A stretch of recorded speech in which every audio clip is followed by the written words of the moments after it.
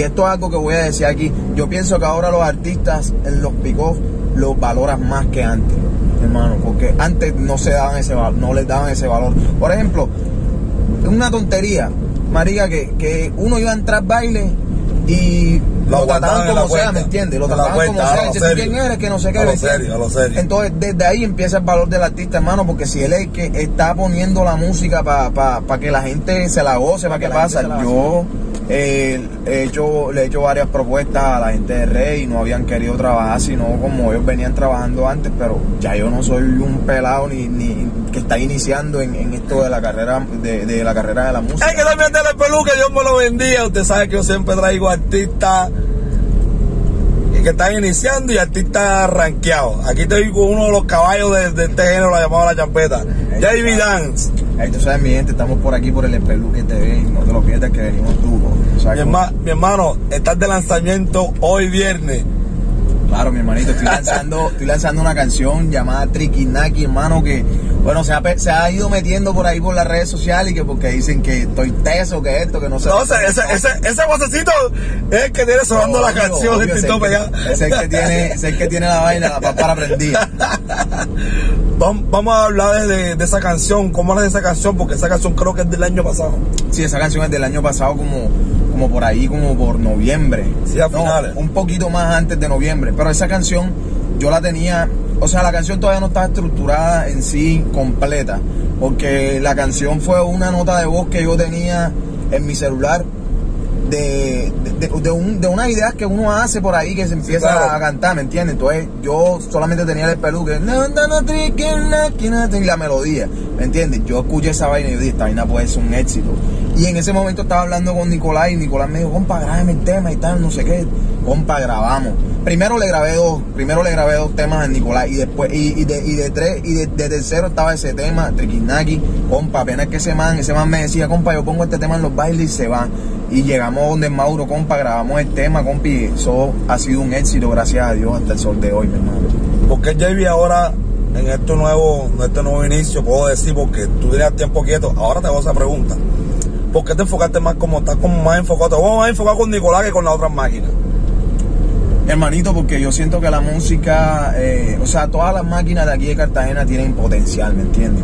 O sea, eso es mentira y que, y que no, que eh, el rey pega, el imperio pega, todas pegan. Porque si te das cuenta, a veces hasta uno soltando las canciones solo también se van ellas solas, ¿me entiendes? y de eso, y de eso tenemos testigos a Pepo que, que lanzó un temita sí, y se le ninguna máquina. Sí, exacto. Entonces, ¿por qué yo como que atarme, atarme a, a, una sola máquina? Eso no, eso no quiere, sino que, por ejemplo, yo yo escogí a Nicolás porque yo vi algo en Man, en Man proyecta eh, éxito, ¿me entiendes? Entonces yo dije, voy a quedarme aquí con el Nicolás haciendo, pero eso no quiere decir que yo no grabe en los otros picos. Yo he grabado, también le he grabado, por ejemplo, la semana pasada le grabé al Rey, eh, al Imperio también le grabé. Y gracias a Dios, hermano, haciendo canciones, haciendo canciones, pero como te digo, porque Nicolás me dio la mano en un momento que de pronto yo no, yo no estaba sonando, reactivándome, ¿me entiendes? Entonces, ¿qué pasa? El man me dio la mano, compi, estoy agradecido con él. Y por eso el, proyecto es Nicolás, pero como te digo, no solamente me atengo a eso, sino estoy grabando en todos los picos. JB venía bien antes de pandemia, antes de pandemia, porque un momento a otro no se supo más el nombre de JB. Todo el mundo decía, JB que ahora que influencer, dedicado al Instagram, todo Instagram, Instagram, y, nada, no, no, dejaste de soltar música como era, porque JB se, se quedó quieto un largo tiempo. Mi hermano, lo que pasa es que la gente piensa que de pronto eh, uno, uno, uno artista no es persona, ¿me entiendes? Y uno también tiene problemas eh, personales. Y no te estoy hablando de, que de pronto, o sea, algún problema grande, sino que, por ejemplo, en mi caso, yo tenía que, yo tenía que, yo sufrí de mucho porque yo no tenía el conocimiento de, esto. de, para la era, de cómo era el negocio de la música, ¿me entiendes? Mi negocio. Porque, Pri, cuando tú te metes a trabajar, lo que sea, mano, tú tienes que saber cómo te va a dar ese negocio, ¿me entiendes? ¿Qué es lo rentable, de dónde sale tu plata, cómo vas a invertir? Entonces yo no tenía claro esas cosas. Y yo estaba organizándome legalmente unos problemas que yo tenía con personas que me robaron, hermano. Y yo decía, bueno, yo tengo que estar bien emocionalmente, yo tengo que estar bien en, en, mi carrera musical como tal, cómo voy a recibir mi ingreso y todo para yo poder soltar música, porque no lo podía hacer teniendo una desorganización. ¿me Sí, claro. Eso es algo que le pasa a muchos artistas aquí que se ponen, se ponen a hacer música y sin saber negocio, no Mira, saben yo, nada. Yo, le- yo te voy a decir una cosa, mi hermano, y se lo voy a decir aquí a toda la gente del Espeluque TV y todos los artistas que me están viendo por ahí. Mira, hay artistas de aquí de Cartagena que hacen canciones, hacen canciones para Picó, hermano, y no las registran. Las canciones quedan por ahí, en el aire las puedes registrar que sea, y después te roban la plata o algo, porque te lo digo porque fue mi caso. Roban la plata de la regalía o, o- o de lo que haga esa vaina en distribución o en, lo, o en lo que sea, hermano, y después van a llorar que esto, que no tengo esto, que no tengo lo otro, mi hermano, pero si Dios te está dando la oportunidad de que Y las tú- fallas del mismo artista. de- la- exacto, Dios te está dando la oportunidad de que tú tengas éxito porque tú no registras tus canciones, ¿me entiendes? Entonces eso es un mensaje para toda la gente que está ahí, que registren sus canciones porque, eh, papi, este, este es, este es el, el, el, el ads bajo la manga de uno por si te llegas a despegar. Ese es su patrimonio. Claro que sí. Su patrimonio. Ese es el legado que le vas a darle a todos tus hijos, patrimonio, lo que da tú es la Claro. herencia. Así es, mi hermano. Tú sabes que yo, ando, yo siempre he andado cerca de la gente de Rey, no eso no es un secreto. Claro. Cuando te apartas tú de Rey, ¿hu- ¿hubo diferencia o no hubo diferencia? Bueno, yo gracias a Dios no he tenido diferencias con, con la gente del rey. Simplemente que ya cuando yo me di cuenta cómo era el negocio, Después de la clave, porque suelta la clave que es un éxito a nivel picotería la clave y después no, después no, no escuchamos más a JB. Claro, claro. Eh, Lo que pasa es que, como te digo, ya cuando tú abres los ojos, no hay poder humano que te los pueda cerrar de nuevo, ¿me entiendes? Entonces, ¿qué pasa? Yo eh, he hecho, le he hecho varias propuestas a la gente de Rey y no habían querido trabajar, sino como ellos venían trabajando antes, pero ya yo no soy un pelado ni, ni que está iniciando en, en esto de la carrera de, de la carrera de la música, ¿me entiendes? Sino que ya yo tengo bases, ya yo tengo conocimiento. ¿Y qué pasa? A partir de eso yo me doy cuenta cómo es el negocio yo le hago propuestas a ellos y, pues ellos no querían trabajar las canciones así, ¿me entiendes? Sino a la manera que ellos venían trabajando y pues a mí no me servía, entonces yo tuve que alejarme también, ¿me entiendes? Pero ya, como te digo, ahora mismo, actualmente yo le grabé el rey porque ya tienen otra manera de pensar, ¿me entiendes? Y ahora, ahora pienso, y esto es algo que voy a decir aquí, yo pienso que ahora los artistas en los picos los valoran más que antes hermano, porque antes no se daban ese valor, no les daban ese valor. Por ejemplo, es una tontería, marica, que, que uno iba a entrar baile y Lo lo, trataban como sea. ¿me entiendes? Lo trataban como sea, dice, ¿tú serio. quién eres? Que no sé qué. A lo serio, a lo serio. Entonces, desde ahí empieza el valor del artista, hermano, porque si él es el que está poniendo la música para que la gente se la goce, para que la gente se la vacile, ¿cómo es que van a tratar al artista como sea, ¿me entiendes? Entonces, a partir de ahí, tú te puedes desprender de muchas cosas. Hermano, vuelvo a la canción, Trikinaki. ¿Qué aspiras tú con esta canción hasta, hasta donde llegue, cómo la empiezas a trabajar? Porque tiene un petardo donde Nicolás, se llama ¿Qué necesidad? Necesidad. Claro. Esa canción me gusta bien pila. Ese es un lío que tú tienes con esas dos canciones. hermano, yo con te este voy lanzamiento de hoy y con esa canción que viene atrás, yo creo que ese es el boom de JB. te voy a decir una cosa, Trikinaki es una canción que yo la proyecto para que sea una canción internacional y te voy a decir algo. Yo he recibido muchos videos solo, la gente sola me ha mandado sus videos bailando la canción y es porque la canción se está saliendo, ¿me entiendes? Que tengo que hacerle el trabajo, sí, porque toda canción necesita hacerle un trabajo para que ella surja mejor, ¿me entiendes? Para Sí, que claro. se vaya más lejos. Pero esta canción la tengo proyectada, mi hermano, para que sea el próximo palo nacional e internacional de J.B. Dan y vea que se los digo hoy aquí en el Espeluque TV.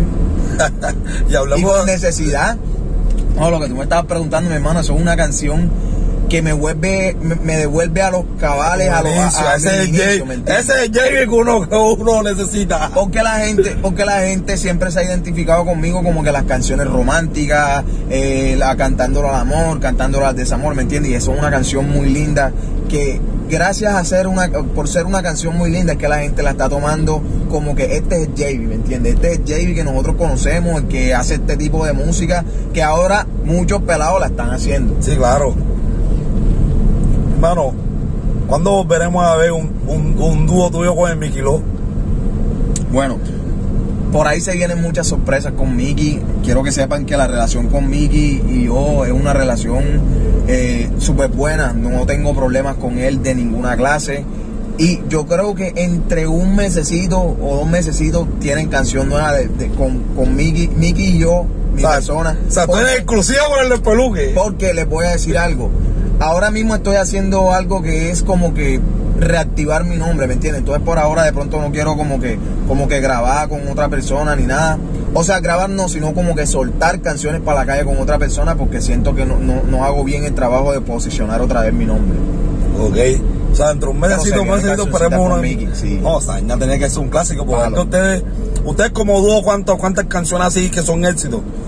Varias. Hermano, muchas, muchas canciones. Como tú no has ido. Mira, ni siquiera hablando de los, de los pagos esos, sino que como tú no has ido y esas canciones, sino, por ejemplo, las canciones que yo- nosotros le hacíamos a Giovanotti. Giovanotti, bravo. ¿Entiendes? Muchas canciones que se pegaron de nosotros y la gente yo sé que eso lo está esperando con ansia. Con el Curi también. Claro, con el Guri también hicimos canciones, hicimos el remix de Te Duele. Nos, Te duele, te así, vale, bravo. canciones, sí. Bravo, bravo, bravo, bravo. Y tú y Mickey inspiraron a muchos artistas. Claro que sí, mi hermano. Bueno, como te- bueno, ese, ese es algo que, que yo, yo digo que a veces la gente aquí en Cartagena es como, como muy, no sé qué les pasa, o sea, para dársela a uno es un viaje, ¿me entiendes? Sin saber todo el recorrido que ha tenido, porque por ejemplo, te voy a poner unos ejemplos claros. Nosotros, entre Mickey y yo, pusimos de moda cantar, hacer esas canciones románticas como si fueran baladas.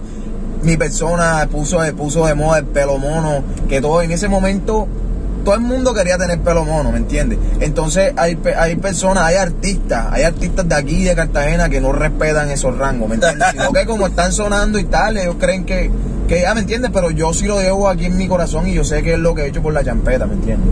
Gracias a Dios se fue Nacional, Que me vaya. eh, que me vaya, como tú no hay dos, la cama Notable. floja, No exacto, la, joda. la cama floja. Y, y he tenido varios, mi hermano, he tenido varios porque de pronto, de pronto acá no, acá en Cartagena no suenan varias canciones, por ejemplo, la tapa también se fue, Tapa, por ejemplo, sí. en Bogotá se, eh, sonó la tapa muy duro, duro, duro, duro. Entonces son canciones que se metieron allá en, la- en- en el interior del país, ¿me entiendes? Entonces eso también lo, lo, lo quiero catalogar como un éxito nacional. Ok. Entonces, esperam- esperamos ver de, de este año otra vez JB retomando todo lo que el trabajo que venía haciendo, porque tú venías haciendo un trabajo durísimo, durísimo. tú estabas. Tú, tú te, te, te- te apagaste en el momento que tú estabas en el top 5 de los artistas más pegados de, de- de la champeta. Sí, mi hermanito, porque en ese momento, como te digo, me di cuenta de muchas cosas que estaban pasando internamente en, en mi negocio, ¿me entiendes? Y yo decía como que "Ta, yo no puedo, yo no puedo seguir mi carrera hacia adelante si yo todavía no tengo todo organizado. Claro. Yo, yo esperé ese momento, como te decía ahorita, yo esperé ese momento este, hasta organizarme bien, hasta yo decir, no, joda, yo creo que ya es el momento de que JB Dance vuelva a los oídos de la gente. Ahora mismo tú tienes tu grupo de trabajo, ¿cómo estás trabajando? ¿Cómo está conformado tu grupo de trabajo? ¿De qué estamos hablando?